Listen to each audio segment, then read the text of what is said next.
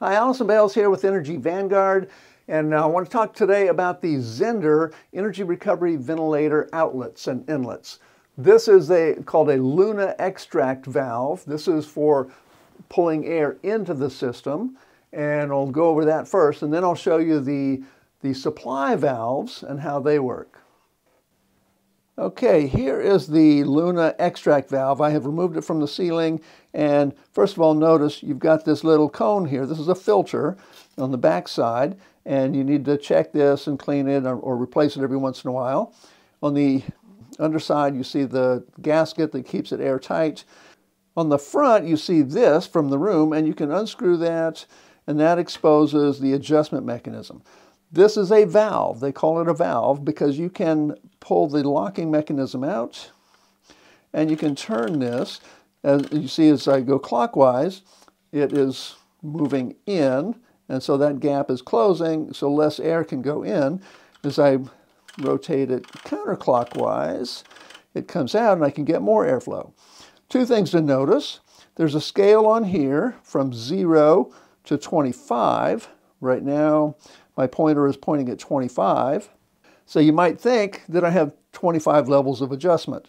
But actually, I have 75 levels of adjustment because on the back side, there's another scale down in here that says 1, 2, 3. And so what that means is that if I start wide open at 25, I can go all the way down to 0 and then past zero. So I can go again through another 25, and then I can go down even more through another 25, all the way down to zero, where it's not going to move anymore. And this is pretty much completely closed. There's a tiny little gap. A little bit of air could go through, but this is mostly closed.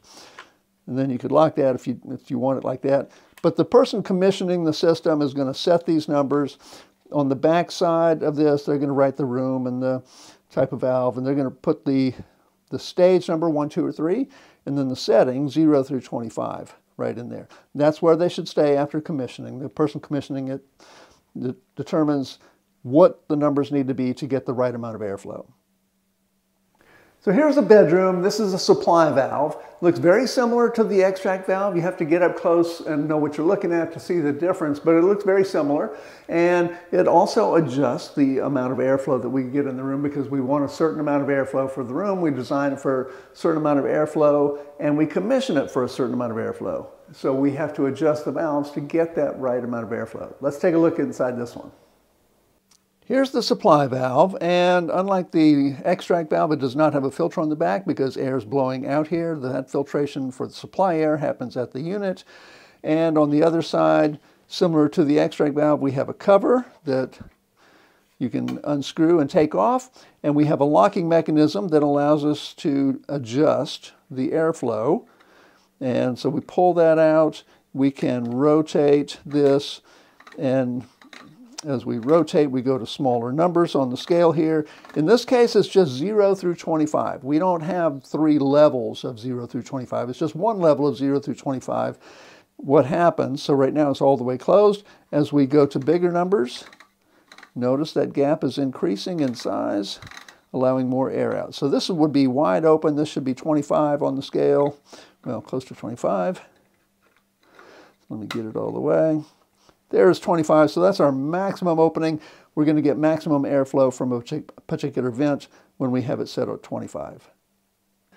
All right, let's do a quick wrap up just talking about the system as a whole now. What we saw were the extract and supply vents, the terminations, and how to adjust them, um, the filtration that goes on the extract side with the little cone filter. But that's all part of the system. That's the distribution part of this energy recovery ventilator. The, and the vents that you saw are at the ends of these tubes, Comfo tube that goes out to the register boxes that have the vents in them that you see in the rooms. The register boxes have either one, two, or three tubes going to them, and they're all labeled up here so you can see these labels. So the Comfo tubes coming in now go to the manifold that you see right here. Let's scroll down a little bit and you can see uh, bigger ducts, and here is the unit itself. This is where the heat and moisture exchange happens. It's where the fans are. This is where the, the, the brains of the machine are. if you're interested in whole house ventilation, this is one of the best systems in the world. And yes, I would be saying that even if I didn't get this system for free. Yes, they gave it to me for free, but I even before I got it, I was telling people this is the best ventilation system out there pretty much.